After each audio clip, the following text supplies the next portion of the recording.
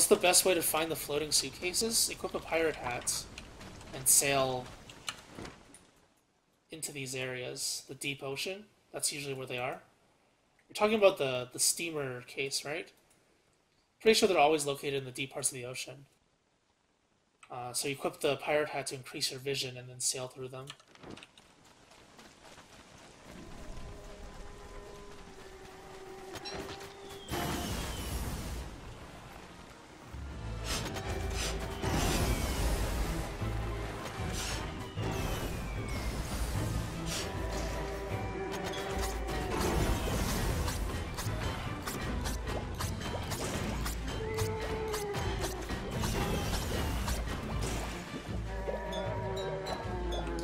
Get the hell out of my base!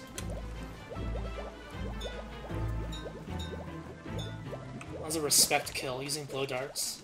So they have 500 health, huh? That's a lot of HP.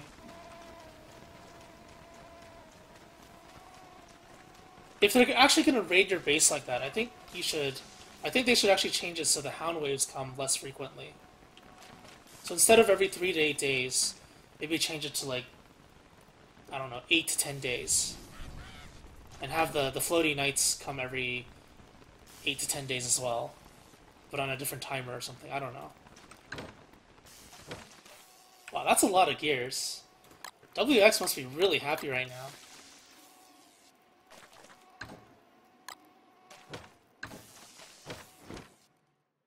They need to make the Knights have a melee attack? Yeah, that, that wouldn't be too bad. Though, uh, currently, there's a mob with a melee attack and a ranged attack, and the melee attack has infinite range. If they do give it a melee attack, they need to probably change how boat battle is, like the boat mechanics with accelerating. Because it's really hard to kite in melee range.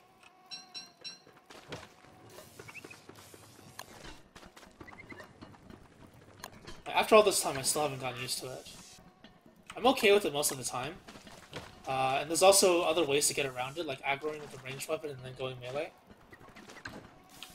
So there is some counterplay to it, but that's still kind of annoying. I would assume that people that are complaining about certain things, they probably have a bigger opinion on it. Like, there's no counterplay to anything, blah blah blah blah blah.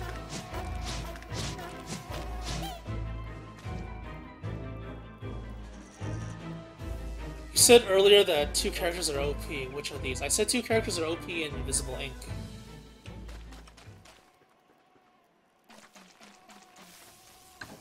Uh, but I did say that Wickford was OP in ROG.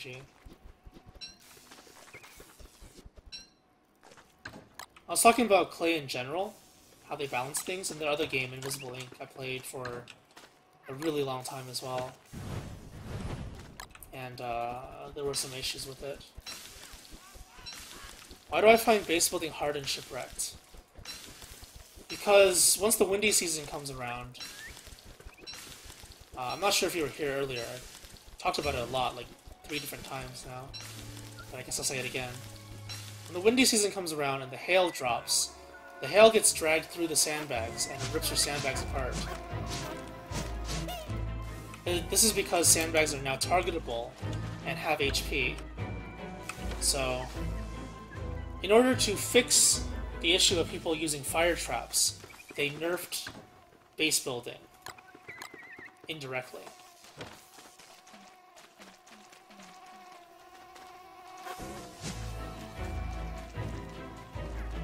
You can't use stone walls. The stone walls also get broken down because they have a health value.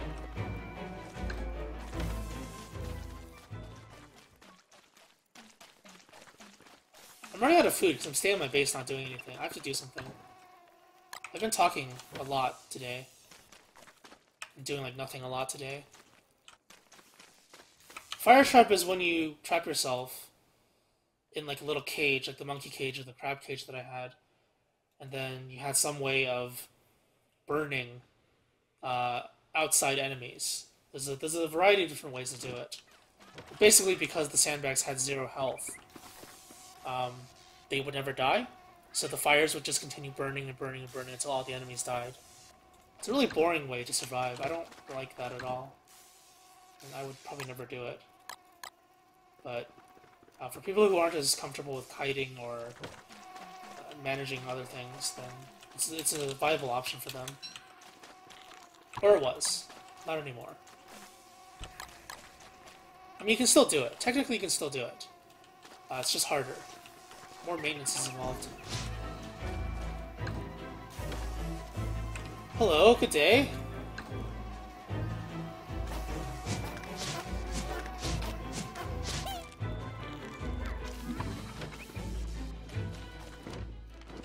Uh, let's see. I have a whale over here. I don't know if it's ready.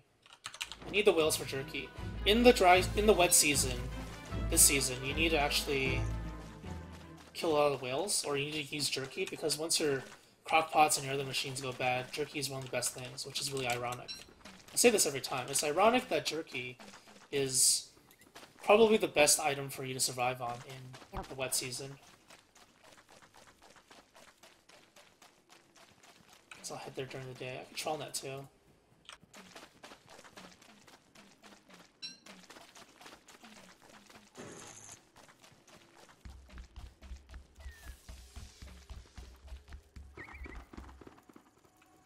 They should make sandbags flammable but not have health value?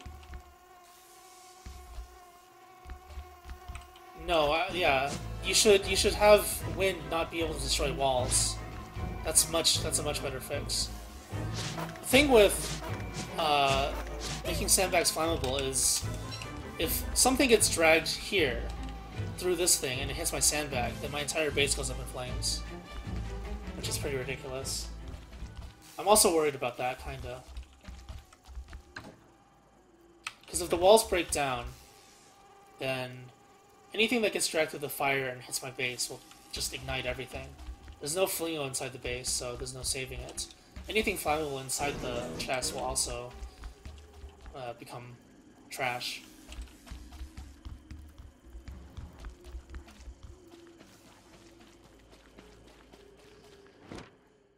There anything to do here? I might just take a detour there. I'm too lazy to, to make monkey pop right now. Banana pop.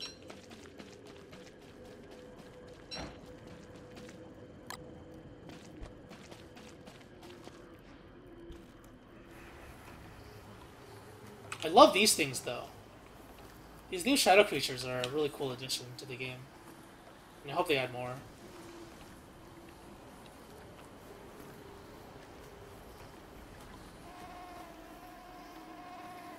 Alright, so it's the uh, fire season now. Gotta kill this mosquito, I think.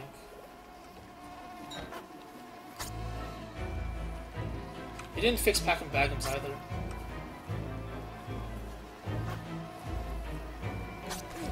It's so stupid.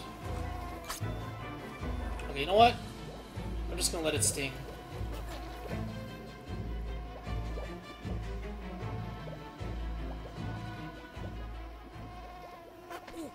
Problem with shadow creatures right now is that you can easily counter them. So if this thing becomes a problem, you just jump onto uh, land, and then the other ones instantly spawn. This one instantly despawns.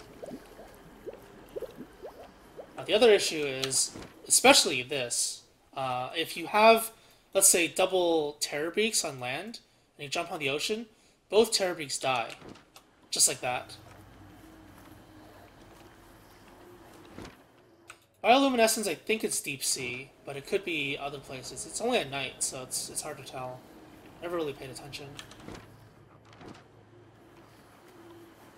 So if you're a person who can't deal with two terror beaks at the moment, and you have a boat nearby, just hop on the boat and you'll be fine.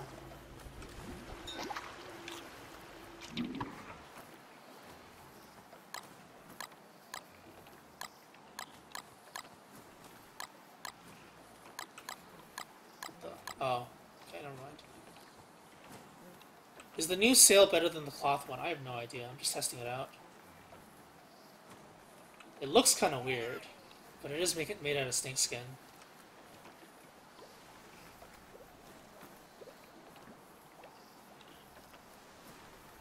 Alright, so the frequency of the volcano strikes is higher now.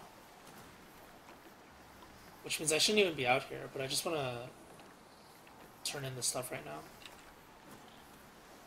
I could be killing myself. I could be killing my base.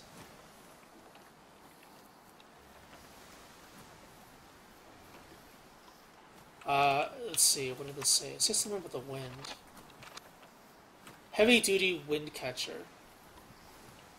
Maybe the durability drops slower, or maybe it's better inside the wind. Uh, you don't get affected as much. That's what I assume. So it's probably better. Uh, the brain of thought, you make things without a machine. You don't prototype them. Are you kidding me? Is He's been stuck here the whole time? The difference between making something and prototyping something, I'll show you when I get back to my base. The Hound Wave should be in about four days? Up to four days. So anytime between now and four days, I think.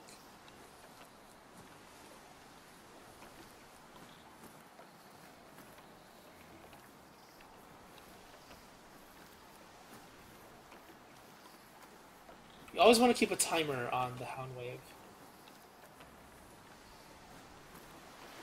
It's not difficult. People just don't do it.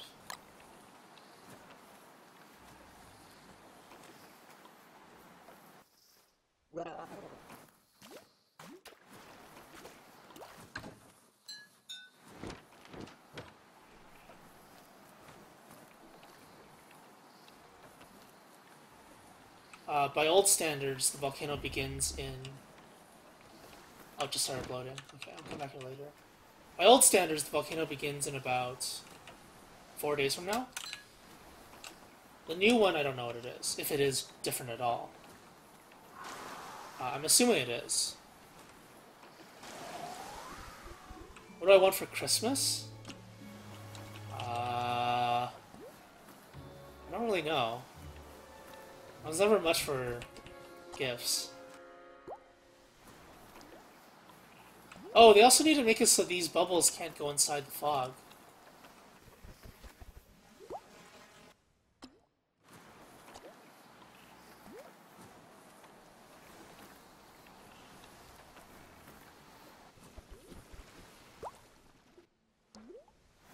Kind of like this. Oh, rip. Oh, the waves look different now. Oh, so you can ride them more easily now. Oh, that's a good change. That is a really, really good change. Because before it wasn't very clear how to ride the waves. But now it's super clear.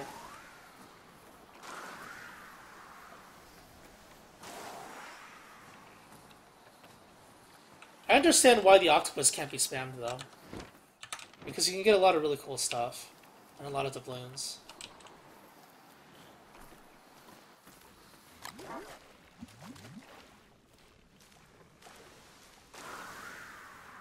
Any interesting games during Christmas? Not really. Don't starve shipwrecked.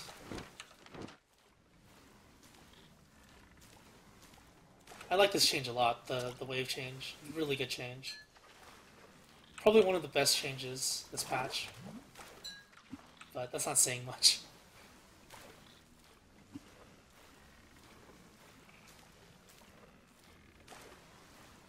They could make it so that if you spam him, he rains seaweed. I don't like seaweed. I could see that how, how that can be exploited, though. Because you can actually get a lot of meat early, especially fish meat. I guess fish meat is just better than seaweed, though. So maybe it's not that exploitable.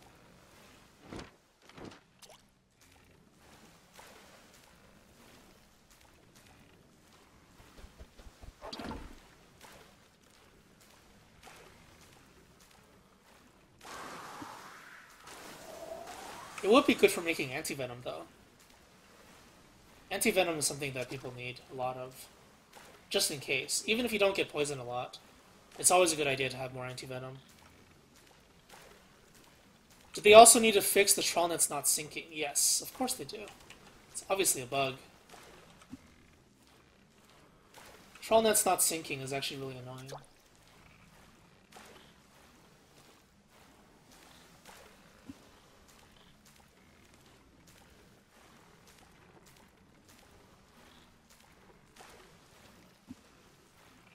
If he throws hail at you, that'd be really annoying.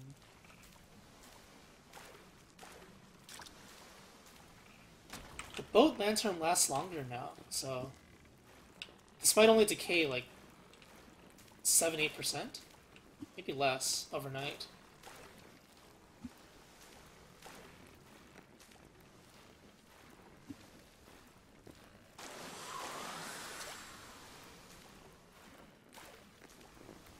Yeah, this wave change is amazing. I like it a lot. But I gotta head home right after I turn in again.